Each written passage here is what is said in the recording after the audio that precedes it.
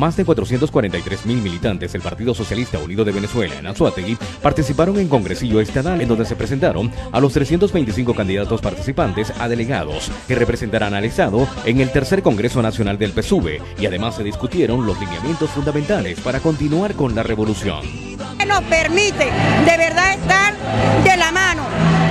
gobierno nacional, gobierno regional, municipal y pueblo, que era lo que quería nuestro comandante Chavo y es lo que estamos implementando. Hoy nos encontramos aquí a nivel estatal para que todos los delegados, los cuales fueron elegidos en, las, en cada una de las batallas, en, en cada una de las unidades de batalla, presentarlos para el día 20 de julio, ir toda la masa electoral de nuestro glorioso partido a llevarlos en vía de un tercer congreso eso donde queremos las bases del partido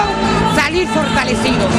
En la actividad se recibieron y se escucharon 21 propuestas de cada municipio del estado, las cuales serán seleccionadas para la elaboración del documento que se enviará al Congreso Nacional representando al estado.